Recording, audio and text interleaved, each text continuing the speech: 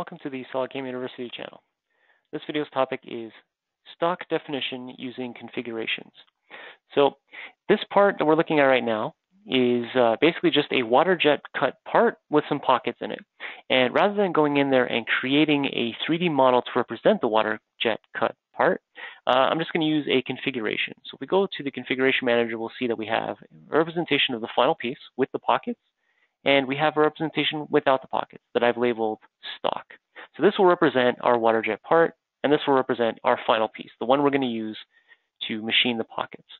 Now when we go into our definitions, um, first thing we want to do, if we want to use a configuration, we'll go to our settings and set it so that the synchronization settings are set to check synchronization on user demand and keep geometry associated with parent configuration. So no matter what I do in terms of configurations, it'll always be tied into the one that I originally clicked on. So let's go to our stock, and we'll use a 3D model option.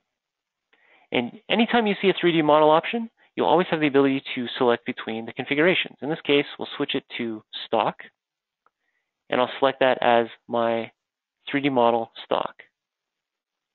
Now we'll go to target, and again, target is by default a 3D model selection. So it has the configurations already ready to go there. I'll choose my final part, click on that, and that represents my target. So now going forward, if I want to program this, my target is that piece. You can see it has the pockets in there.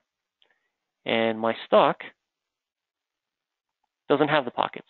And it will remain so as I go forward. So I have no need to to worry about switching this back.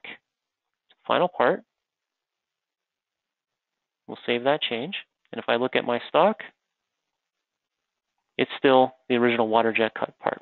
So configurations allow you to basically go back to the original design model and suppress any features that would turn this into uh, um, a stock model. So essentially, the two cut pockets, those were suppressed. If I just take a look at that in terms of the configurations, if we look at the configuration of that particular feature, this is actually where you can suppress the features to make your stock solid. So you'll notice that in the final part, it is not suppressed. But that particular pocket in the stock solid is suppressed. So that's how you create this particular type of configuration. You just suppress the features that are the ones that are intended to be machined.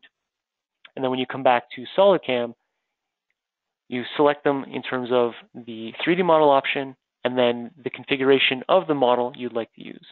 Any questions on this or anything else from SolidCAM, you can always call us at 1-866-975-1115 extension 2.